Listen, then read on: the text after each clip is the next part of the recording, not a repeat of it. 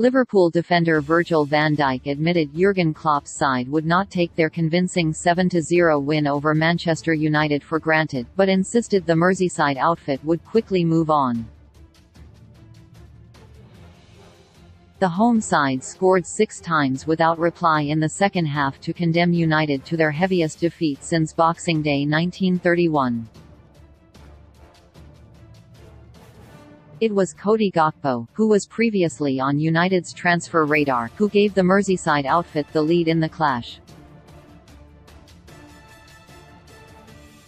Darwin Núñez doubled the home side's lead just two minutes after the interval, before Gakpo netted his second to make it 3–0. Shortly after that, Mohamed Salah got in on the act to smash a thunderous effort past David De Gea to make it 4–0 to Liverpool. Núñez converted with a header to add a fifth before Salah got his second. Substitute Roberto Firmino completed the scoring for Klopp's side, adding a seventh with two minutes of normal time left on the clock.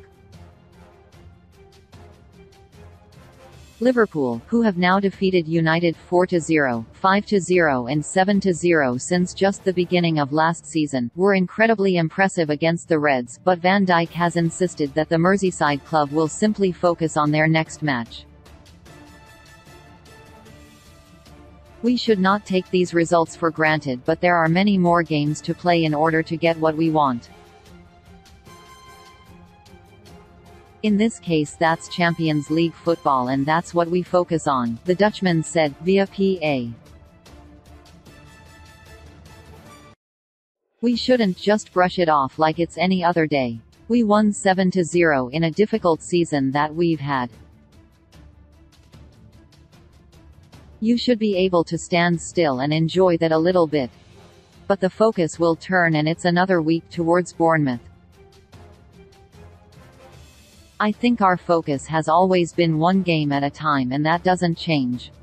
Klopp, meanwhile, admitted that he had no words to describe his side's stunning 7–0 victory over the Reds on Sunday afternoon.